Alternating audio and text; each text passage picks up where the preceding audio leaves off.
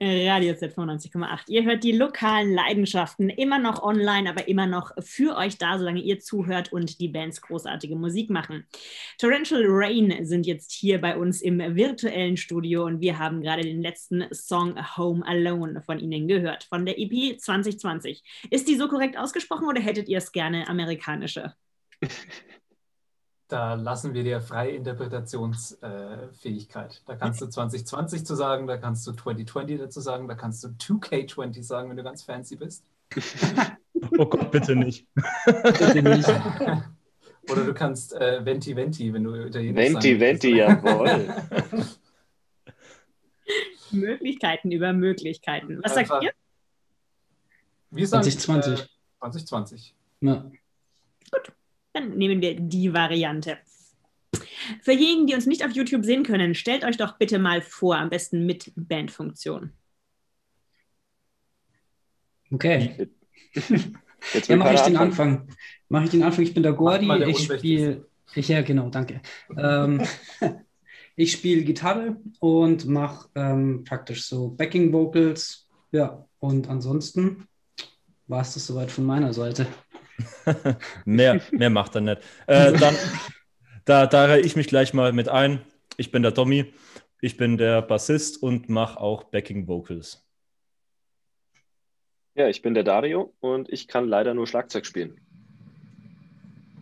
Ich bin der Chris, ich singe und spiele Gitarre in der Band und äh, schreibe hauptsächlich die Songs und lasse das Organisatorische die anderen machen. Ist das aufgeteilt, das Organisatorische? Ja. Definitiv, weil sonst würde ja. gar nichts funktionieren. Okay, also wer hat jetzt grad, quasi gerade äh, unterschlagen, dass er eigentlich noch eine mega wichtige Aufgabe für die Band hat? Der Gordy, der ist so bescheiden. ähm, ja, also ich, ich, eigentlich alle irgendwo. Ich, ja, ich würde sagen, wir haben das eigentlich mittlerweile ganz gut aufgeteilt. Also jeder hat so seinen, seinen Bereich, den er macht. So Social Media schauen wir mittlerweile einfach der, der halt Zeit hat, der macht. Und ähm, ich habe hab mir angewöhnt, eben einfach so ein bisschen Management zu machen und Mails zu schreiben und mit Leuten zu telefonieren. So. das mache ich ganz gern. Genau, also wenn, wenn, wenn wir da schon dabei sind, sozusagen, was wir noch so machen. Also ich bin ähm, äh, dafür zuständig, dass, die, dass unsere Websites einigermaßen aktualisiert sind und kümmere mich um unseren Merch-Store auf, auf Bandcamp ähm, und, und versende da den ganzen Stuff. Und sonst äh, mache ich noch, da, damit man auch nicht genug von uns kriegt, streame ich auch noch auf Twitch äh, für, die, für die Band auch noch alles. Und genau, das ist dann nochmal so, noch so mein, meine Aufgabe nochmal in der Band. Ja, und bei mir sind es die Zahlen. Geld zählen und ausgeben. Ist das viel Arbeit im Moment bei euch, Geld zählen? Unglaublich, ey, wie heute. Wahnsinn. Der Dario hat sich schon extra so einen Ofen gekauft, wo es reinscheffelt, weil wir nicht wissen, wohin damit. ja, nee, ich meine, ihr habt, ihr habt vor zwei Tagen habt ihr gepostet 326.000 Streams. Das äh, sind doch bestimmt 5 Euro oder so, oder? Das sind mindestens 5 Euro, mindestens. sogar 7. Ja. Also Und, Jubiläum haben wir im Drive-In gefeiert. Schön wäre es halt gewesen, ne? Schön wäre es, wenn wir alle irgendwie uns so eine 20er Nuggets geholt hätten und das erste Mal gefeiert hätten damit. Darf man ja nicht, ne? Darf man, Darf ja. man ja nicht, ja. Äh, als ihr die, äh, die EP letztes Jahr 2020 benannt habt, äh, hattet ihr schon eine Ahnung davon, was euch bevorsteht in dem Jahr?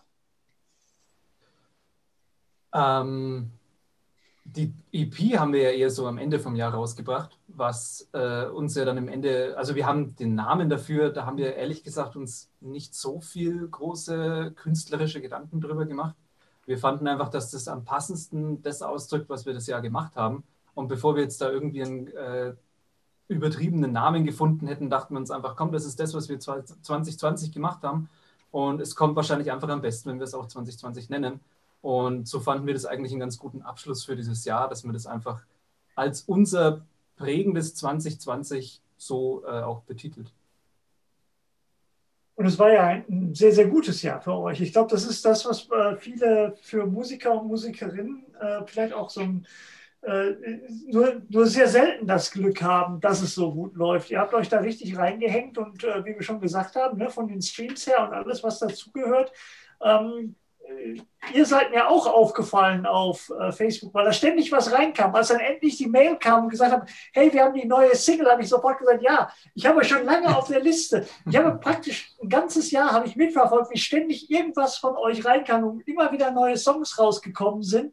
Und ähm, ich bin aber selber nie dazu gekommen, das irgendwie nachzuverfolgen. Und jetzt sind wir endlich soweit, praktisch über ein Jahr später. Ne? Das war, wann ist die erste Single rausgekommen letztes Jahr? Genau vor zwei Tagen, am, am 10. April ist die ist Home Alone rausgekommen. Und da möchte ich noch kurz anmerken, das, das ist dann mega gut, dann hat alles funktioniert, wenn du pausenlos von uns zugespammt worden bist, genau. dann hat unsere Taktik super funktioniert. dann ist alles ist aufgegangen. Wirklich, das ist wirklich halt auch genau das, was wir eigentlich machen wollten, weil am Anfang war unser Plan ja, ähm, wir, wollen, wir wollten weg von diesen, du bringst ein Album raus, und dann bewirbst du dieses Album über die Zeit, bis das nächste Album wieder rauskommt. Und äh, wir wollten einfach einen anderen Ansatz versuchen mal. Äh, und deswegen hatten wir das Ganze schon vor der Pandemie ausgeplant, was wir jetzt eigentlich, wie, wie wir die Songs releasen werden und wie die ganzen Sachen in 2020 rauskommen werden. Und äh, ich möchte es mal gar nicht so sagen, weil eigentlich ist es gegenüber den anderen Bands und so vielen anderen Musikern, denen der das Jahr richtig zugesetzt hat, ja nicht so nett gegenüber, aber für uns war das ja mit das Beste, was hätte passieren können weil ähm, die, du, du, du konntest so gut mit den Leuten interagieren wie noch nie zuvor. Jeder war daheim gesessen, jeder wollte äh, beschäftigt werden. Und das war das, was wir uns eigentlich fürs, äh, als Ziel gesetzt haben für 2020. Mhm. Wir bringen kontinuierlich neue Musik raus, wir lassen immer wieder was von uns hören. Und äh, das haben wir dann einfach auf 110 Prozent gedreht, als wir dann gecheckt haben, ja, okay, jeder sitzt daheim, keiner hat eine Ahnung, wann das Ganze aufhören wird. Irgendwie müssen die Leute beschäftigt werden. Und deswegen ging es dann Schlag auf Schlag. Wir haben die ganze Zeit irgendwas gemacht und äh, hat sich ja auch anscheinend ganz gut ausgezahlt bis jetzt. Uh, ganz tiefgreifende Frage, die sich da natürlich auftut. Ist das, kann das tatsächlich jetzt auch, diese ganze Arbeit, die ihr praktisch jetzt äh, 18 Monate oder so in, in, in, äh, in den Trockenbau, in den Rohbau reinstecken müsst, wird der sich dann äh, ins Ende 2021, Anfang 2022 auszahlen? Zum Beispiel, dass ihr mehr Konzerte spielt, wo ihr mehr Merch und mehr äh, Platten verkaufen könnt? Ist das, ist das so eine Sache, wo ihr euch tatsächlich eine ähm, ein Bewusstsein bei, bei den Leuten da draußen, die so Konzerte veranstalten, äh, auch so ein bisschen reingehämmert habt auf diese Art und Weise, dass das ähm, sich dann in nächster Zeit auch ummünzen lässt, weil Live-Konzerte und sowas ging ja jetzt nicht, wo ihr das nochmal hättet promoten können oder äh, auf andere Art und Weise monetarisieren. Also ich glaube, da, da haben wir jetzt in dem, in dem letzten Jahr äh, einen ziemlich guten Job gemacht, um uns auch ähm, nicht nur bayernweit, Entschuldigung, sondern auch deutschlandweit und über Deutschland hinaus einfach extrem gut zu vernetzen. Das haben wir in dem, in dem letzten Jahr extrem äh, gut hinbekommen. Und da bin ich mir auch sehr sicher, dass jetzt äh, viel mehr Leute in viel mehr Städten und Ländern von uns wissen. Und mhm. ähm, das, das wird sich dann auf jeden Fall auch in Live-Shows nicht nur in, in Franken, Bayern, sondern auch dann auch deutschlandweit auf jeden Fall bemerkbar machen. Das ist zumindest das, wo, wovon ich definitiv überzeugt bin dann auch. Wenn man, ja, man, wenn man, achso, ja, Gott, ich sag. Man, man kann es halt auch statistisch dann immer verfolgen, dadurch, dass man halt äh, bei Spotify ja die Möglichkeit hat zu gucken, hey, wo spiel, wird denn der Song überall gehört? Und da konnte man halt wirklich auch so schauen, welche Städte sind denn jetzt halt hier so in Deutschland, wo Leute uns auf dem Schirm haben. Also die halt wirklich gesagt haben, hey, coole Band, gefällt mir. Und dann kann man halt dementsprechend natürlich auch schauen, wenn wir dann wieder spielen können, versuchen wir dann natürlich eventuell dahin zu kommen, wo wir halt auch gesehen haben, da hört man uns und da ist äh, der Bandname halt jetzt ein Begriff, was halt praktisch ist. Ja. Das ist auch, auch, gut fürs Booking. Ne? Also wenn man tatsächlich sagen kann, hier sind unsere Spotify-Zahlen, bei euch in der Stadt haben uns 8000 Leute gehört oder so. Also das ist ja schon mal potenziell was. Auf, auf jeden Fall, aber nicht, nicht nur das, weil äh, die andere Sache, ich möchte jetzt nicht uns zu sehr beweihräuchern. Nein, ähm, seid toll, stinkt, toll. Ja, aber nee, aber was halt wirklich einfach, es ist halt alles dieses Jahr extrem gut aufeinander gekommen irgendwie.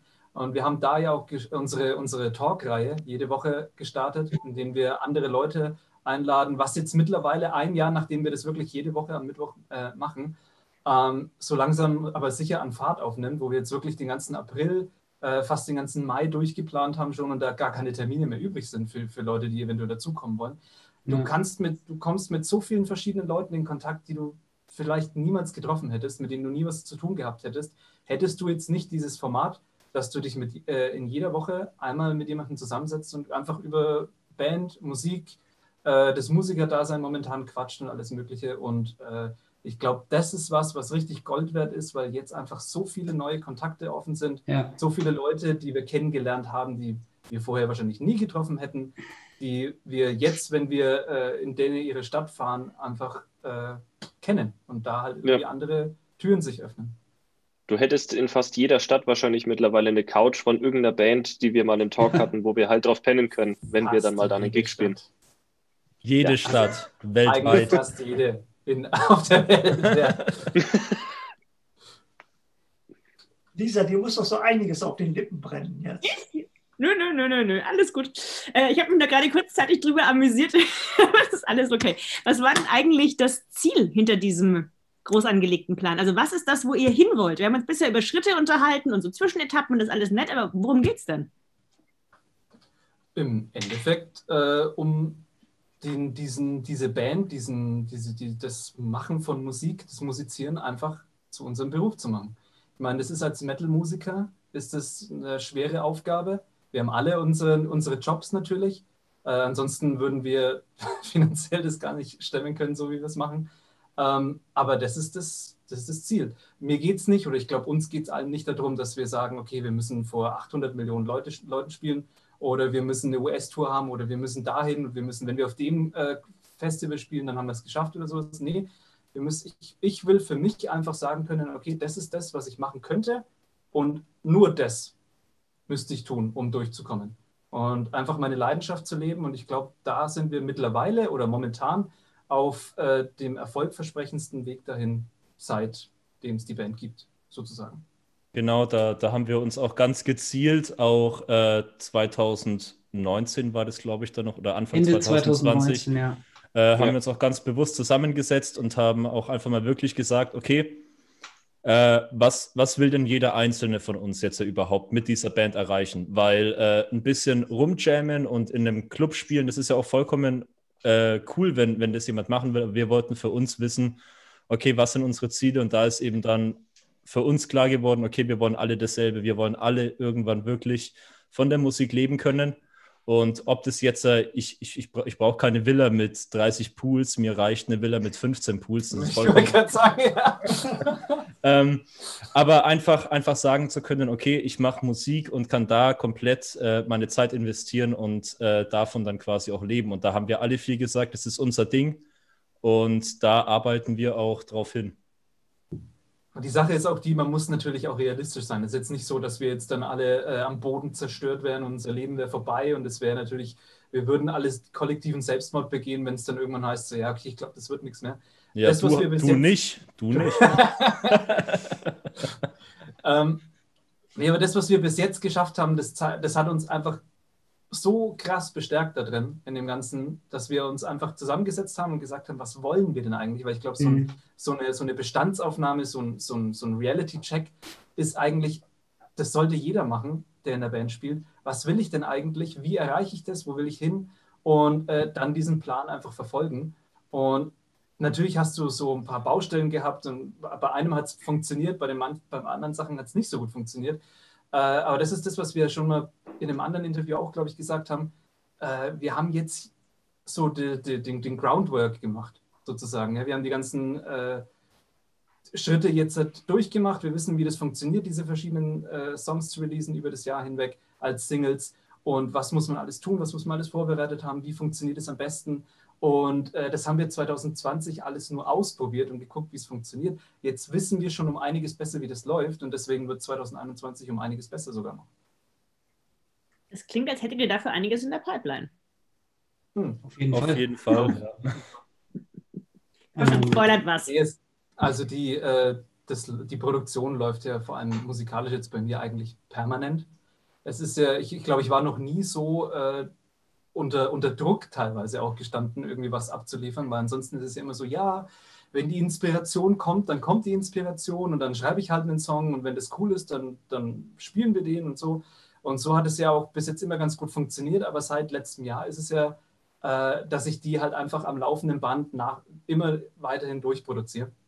Und wir haben Deadlines und wir haben das Ganze ja durchgeplant, wann was bis wohin fertig sein muss und wann das Video gedreht sein muss und bis wann die Promo anlaufen muss und so weiter.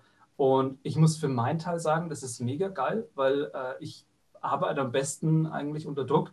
Und wenn ich weiß, hey, du hast nur noch zwei Wochen, um das Ding fertig zu recorden, dann läuft es viel besser, als wenn ich weiß, ich habe noch ein halbes Jahr, weil dann mache ich es erst in den letzten zwei Wochen von dem halben Jahr.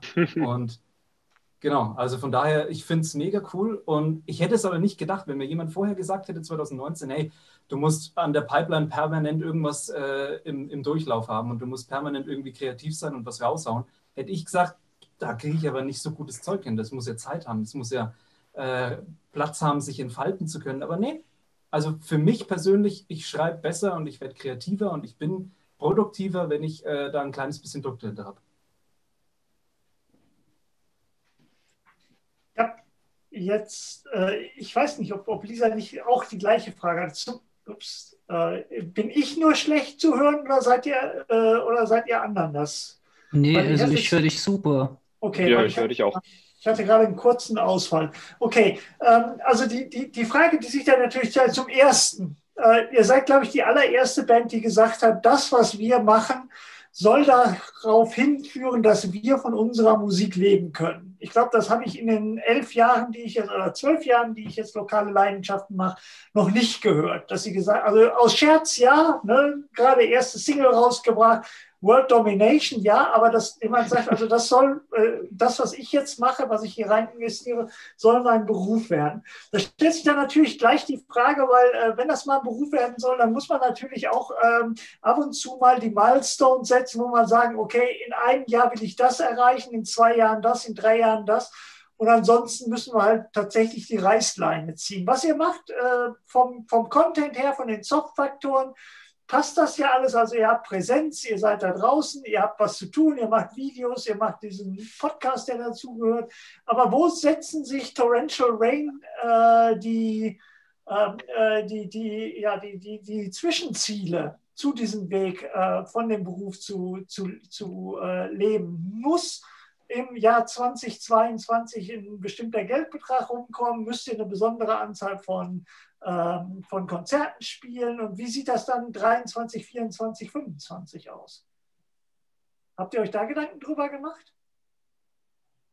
Auf also, jeden Fall. Will nur irgendjemand ja. anderes was sagen noch, weil sonst labern wir. Es ist eine sehr schwierige Frage, muss man sagen. Vielleicht ist es auch irgendwie die falsche Phase, um äh, wirklich konkret zu denken, weil wir natürlich alle ein bisschen ins Blaue reinplanen müssen im Moment.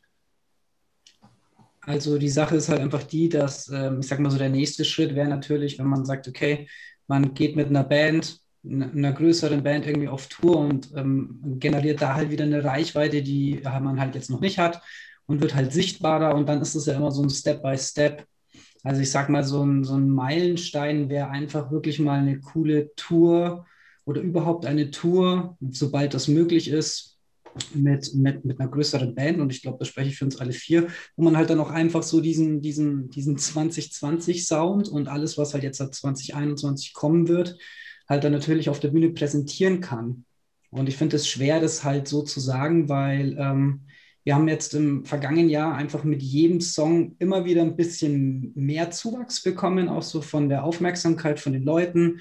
Und da hat es schon gefreut, wenn irgendwie coole YouTube-Kommentare oder die Leute schreiben dir auf Instagram so, hey, das ist mega cool, was ihr macht. Deswegen, ich finde ich find es sehr schwer, jetzt sich gezielt Meilensteine zu setzen, weil sie ja doch dann immer auch abhängig davon sind, ähm, ob, du, ob du halt irgendwie, ja, jetzt im, zum Beispiel eben eine, eine, eine, Tour spielen kannst, wo du halt dann eben so den nächsten Schritt gehst. Ähm, weil du kannst ja nicht selbst jetzt irgendwie eine Stadion, Stadiontour buchen und sagen, sehr gut, wir spielen jetzt das, weil es Quatsch ist. Ja, aber so als Ziel zu setzen, äh, tatsächlich zu sagen, 2022 wollen wir mit der Band von der Größe von Band XY tatsächlich mal touren. Das wäre schon was Cooles. So, ja? Also solche Ziele sich zu setzen, das weil, weil sonst sagt einer von euch hinterher, und ich meine, ich will ja jetzt keine Unruhe säen bei euch, das tut mir sehr leid, dass ich das davon angefangen habe, aber sonst sehe ich da die Gefahr drin, dass einer sagt, hör mal, also wir sind jetzt fünf Jahre dabei und wir haben jetzt unsere Streamanzahl verdoppelt, das reicht mir irgendwie nicht. Äh. Die Sache ist die, ähm, alles, was wir jetzt gerade geschafft haben, ist mega geil für uns. Konzerte ist, fällt ja eh gerade jetzt ein bisschen weg. Ne? Also du kannst jetzt nicht sagen, so, boah, wir müssen die und die Tour spielen und sowas. Ich glaube nicht, dass wir, dass wir sagen, so, boah, wir haben dieses Ziel, wenn es bis dahin nicht funktioniert oder wenn bis, das, bis, bis dieses Ziel nicht erreicht ist, äh, dann wird das Ganze nichts oder dann habe ich da keinen Bock mehr drauf. Das, das, das, das Coole ist ja, glaube ich, dass jeder von uns das leidenschaftlich macht, dass jeder von uns das geil findet, in der Band zu sein und dass jeder von uns das machen möchte. Und natürlich, wenn wir Konzerte spielen würden jetzt, dann würden wir so ein äh, 50 Leute Ding genauso feiern, als wenn wir vor 5000 Leuten dann spielen würden, weil wir es einfach geil finden, auf der Bühne zu stehen. Von daher glaube ich, ist dieses Feeling, dass wir sagen, so, boah, okay, gut, wir hängen uns jetzt da mega gut rein. Äh, aber wenn wir 2022 jetzt nicht irgendwie auf einer krassen Tour spielen, dann war das Ganze umsonst. Nee, finde ich gar nicht so, weil die ganze Arbeit und die ganze, die, der ganze Weg, das hört sich jetzt ein bisschen cheesy an, weil der Weg ist das Ziel in der Hinsicht, ähm, aber finde ich wirklich so, die ganzen Videodrehs, ich meine, das, das, das, Team, das wir aufgebaut haben, die, die, das, die ganzen Sachen, die so drumherum passieren und sowas, das ist es alles schon wert. Und sollte jetzt dann, sollte jetzt dann heißen, so, okay, gut, wir müssen uns trennen, das wird nichts, das wird, keine Ahnung, äh, das, das müssen wir lassen, das Ganze, dann war es das trotzdem wert. Und da traue ich dem Ganzen nicht hinterher, oh mein Gott, ich wäre so gerne irgendwie vor acht Millionen Leuten gestanden. Ja. Natürlich wäre ich das gerne, aber ich sehe das nicht so, dass die Sachen, die wir bis jetzt geschafft haben, schon gut sind. Nur wir wollen dann halt noch irgendwie, äh, das ist nicht, das ist nichts wert, solange wir nicht das Endziel dann erreicht haben. Nee, alles, was wir geschafft haben, ist ein kleiner Schritt weiter nach oben auf der Leiter und äh, ich bin mit jedem Schritt mega äh, zufrieden und glücklich darüber, dass wir den gemacht haben überhaupt. Vor allem im letzten Jahr, weil man sieht ja, was eigentlich kulturmäßig, bandmäßig in, auf der ganzen Welt eigentlich passiert. Und es ist halt eigentlich nichts, nicht wirklich irgendwas. Jeder ist irgendwie, äh, weiß nicht so genau, wie er seine Musik rausbringen kann. Wir müssen uns jetzt auch fürs nächste Video, das wir geplant haben, schon ein kleines bisschen äh, überlegen, wie wir das eigentlich drehen, Corona-mäßig. Äh, es ist mega schwer, neue Musik zu machen und ich glaube, da sind wir jetzt momentan an der Vorfront. Und ja, damit bin ich mega zufrieden wenn ich jetzt euer Bankberater wäre oder wenn wir bei Radio Z uns gleich in der Küche nochmal zusammensetzen würden, dann würde ich da nochmal ein bisschen nachfragen. Aber ich glaube, wir haben sowieso schon unsere Zeit zum großen Teil überschritten. Äh, das Interview äh, wird natürlich auf YouTube ungeschnitten zu sehen sein. Die kompletten, wir sind im Moment schon bei 22 Minuten und wir wollten uns eigentlich drei Songs von euch anhören. Ähm, wir hatten uns auch so abgesprochen, dass wir äh, uns langsam auf Time Will Tell den neuen Song, den Torrential Rain gerade erst rausgebracht haben, äh, so ein bisschen unterhalten würden, haben wir auch kaum noch Zeit zu. Ich würde aber trotzdem sagen, dass wir uns nochmal nach äh, Time Will Tell nochmal kurz hier zusammensetzen und noch ein bisschen was über euch hören was uns alles noch so einfällt und was an Fragen noch offen ist. Bis dahin hören wir aber uns mal an. Torrential Rain, ganz leicht zu finden. Äh, torrentialrain.de heißt die Webseite. Ihr könnt Torrential Rain auf allen gängigen Plattformen finden, also überhaupt gar kein Problem. Hört da mal rein, ganz, ganz spannende Musik gibt es da. Die neue Single hören wir jetzt rein. Äh, die heißt Time Will Tell und ihr hört Radio Z 95,8, die lokalen Leidenschaften.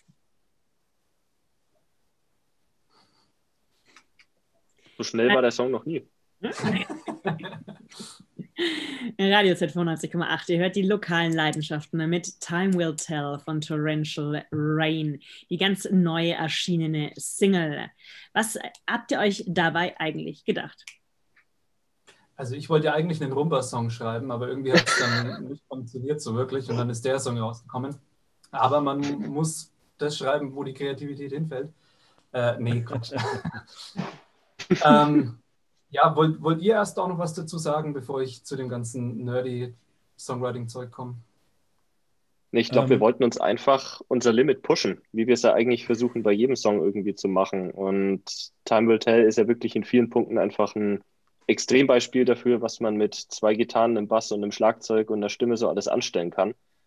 Und der Song war halt wirklich ein bisschen unter diesem Mindset gestanden, okay, wir gehen all out mit dem Ganzen. Also zumindest für Schlagzeug gesprochen, war sicherlich so das Schwierigste, das Schnellste, das asozial Schwerste, was man so bei uns findet im Katalog, aber hat mega Spaß Findest- gemacht. Findest du den wirklich schwerer als Strung Out? Ja, Echt? Okay, Tatsache. Ja, also da, da, da kann man auch auf jeden Fall sagen, dass äh, vor, vor allem mit, mit Time Will Tell und auch Strung Out, dass wir da auf jeden Fall auch als, als Musiker an was, was, was, unsere, was unsere Fähigkeiten an unseren Instrumenten angeht, immens gewachsen sind. Also da, äh, das, das lässt sich, glaube ich, nicht von der Hand weisen. Also ich weiß noch, ich war, äh, ich, ich habe, glaube ich, zwei Monate lang dieses Ding äh, ver, äh, geübt und bin erst verzweifelt den ersten Monat und dann im zweiten Monat gab es dann langsam Lichtblicke. Ähm, und, und das finde ich aber so, so genial bei uns. Also, dass, dass es halt so ist, weil, also Chris ist ja eh äh, musikalisch hier Superbrain. Ähm, aber, aber dass es dann wirklich so ist, dass, dass wir dann wirklich sagen, nein, das ist nicht so schwer. Nein, äh, wir, wir können das. Und ich weiß noch ganz genau, der Chris hat mir irgendwann mal äh, da äh, einen Link geschickt und meinte so, ja, können wir das verbauen? Und ich meinte so, Alter, ich kann das nicht spielen. Aber pack's mit rein, ich krieg das schon hin. So. ja, das war Äh, geil. So, und, und, und genau das finde ich, finde ich so cool bei uns in der Band. Und es zeigt sich auch vor allem in, in, in diesem Song auch, dass wir auch einfach äh, nicht in unserem Safe Space bleiben, wo wir sagen, ey, das können wir spielen, das klingt cool, sondern dass wir uns halt auch wirklich jedes Mal pushen und mit jedem Song wirklich zu, zu besseren Musikern werden. Und das finde ich einfach so genial. Und das hört man bei Time Will Tell so gut wie in fast keinem anderen Song von uns. Mic drop. Ja, dann machen wir da doch auch Schluss. Äh, ihr ähm, äh, habt gerade Torrential Rain gehört. Torrentialrain.de heißt die Website Torrential Rain. Wir werden noch einiges an Singles im laufenden Jahr veröffentlichen, wenn ihr noch hören wollt, was im letzten Jahr gelaufen ist, die EP 2020, von der wir gesprochen haben. Äh, dann schaut auf torrentialrain.de vorbei. Äh, folgt ihnen auf äh, Facebook, denn auf Facebook pa- passiert auch unheimlich viel. Es ist für einen alten Menschen wie mich ganz einfach auf Facebook dran zu bleiben. Ich habe alles bekommen, äh, mitbekommen, was da passiert ist. Es ist auf jeden Fall eine sehr, sehr spannende Band äh, und äh, ich werde jetzt nach diesem Gespräch besonders mal darauf achten, wie es weitergeht. Denn äh, ich freue mich immer, wenn sich jemand so richtig engagiert und wir, hey, wir brauchen hier aus der Region mal jemanden, der so richtig abgeht der richtig groß wird. Also ich habe nichts dagegen, dass ihr irgendwann mal Headliner bei Rock im Park ist. Aber dann Oh. müsst ihr mich auf die Gästeliste setzen. Ich hoffe, das, das geht dann klar. Ähm, ja, ich muss abmoderieren. Äh, ihr könnt diese Sendung morgen um 13 Uhr nochmal auf www.radio-set.net und auf DAB Plus nachhören. Außerdem steht diese Sendung in äh, der Radio Z Mediathek zur Verfügung, www.radio-set.net. Links oben in der Ecke ist die Radio Z Mediathek, dort auf lokale Leidenschaften klicken oder aber, wenn wir da nicht mehr stehen, auf weitere Sendungen klicken und dann lokale Leidenschaften. Da könnt ihr diese Sendung mit den Mars Mushrooms und mit Torrential Rain noch eine Woche lang nachhören mit Musik. Außerdem werden wir das Video ungekürzt in voller Länge auf YouTube veröffentlichen. Das sollte auch direkt nach der Sendung schon bereit stehen. Nach uns kommen die Radio Gays. Die nächste Sendung der lokalen Leidenschaften ist am Montag. Songs for a Spring, äh, Lieder für einen äh, Frühling mit äh, Neuerscheinungen äh, aus der Region. Wenn ich es rechtzeitig schaffe, das alles zusammenzubasteln, bis dahin werden wir da interessante neue Musik aus der Region hören. Ähm, die nächste reguläre Sendung der lokalen Leidenschaften am Donnerstag. Äh, da haben wir den Fand bisher eingeladen und einen Überraschungsgast, was immer das, äh, äh, der Euphemismus dafür ist, dass wir noch keinen haben dafür. Äh, Lisa, vielen, vielen Dank für diese Danke dir, Sendung. Andreas. Danke euch. Es war eine Freude und toi, toi, toi. Dankeschön, dass wir da sein durften. Danke, dass wir da sein durften. Ja. Ja, thanks. Und als letztes hören wir äh, Left Outside von Torrential Rain. Äh, vielen Dank fürs Zuhören. Bis dann. Ciao, ciao. Ciao.